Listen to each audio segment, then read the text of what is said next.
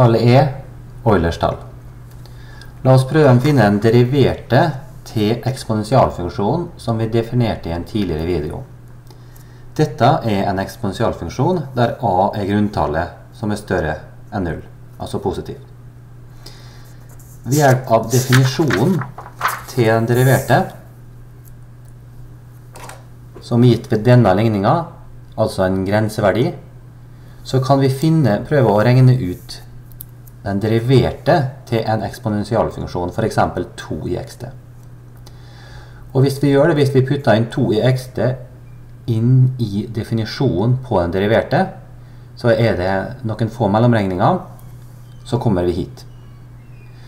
Altså, den deriverte av f av x er et tall 0,6931 ganger 2x.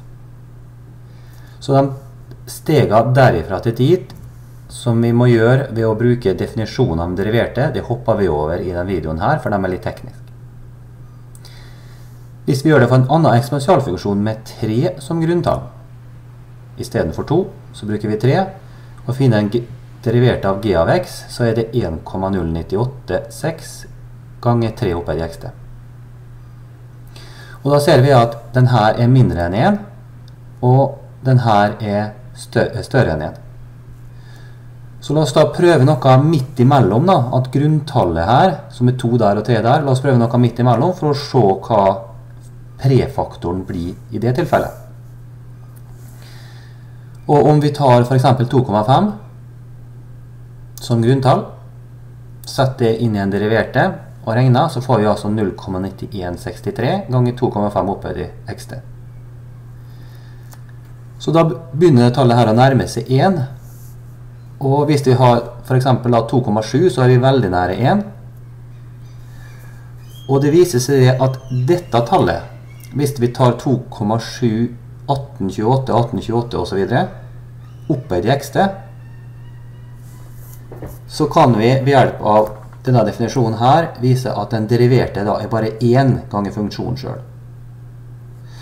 Så hvis vi skriver den her, og kaller det tallet her e er lik 2,7, 1828, 1828 og så videre. La oss kalle det e, så kan vi skrive den her som e i xt. Og da ser vi at siden prefaktoren her bare er 1, så er også den deriverte litt e i xt. Altså eksponentialfunksjonen med grunntallet e 2,7 og så videre, det er lik sin egen deriverte. Så la oss derfor oppsummere dette i en definisjon og en veldig viktig setning som vi skal bruke ofte i det kurset her. La oss starte med definisjonen.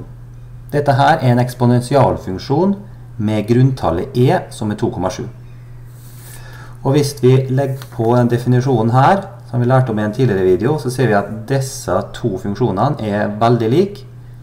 Det eneste her er at her har vi grunntallet e som er 2,7. Mens her har vi et vilkårlig grunntall. Derfor er denne definisjonen av en eksponentialfunksjon med grunntallet e Eulers tall.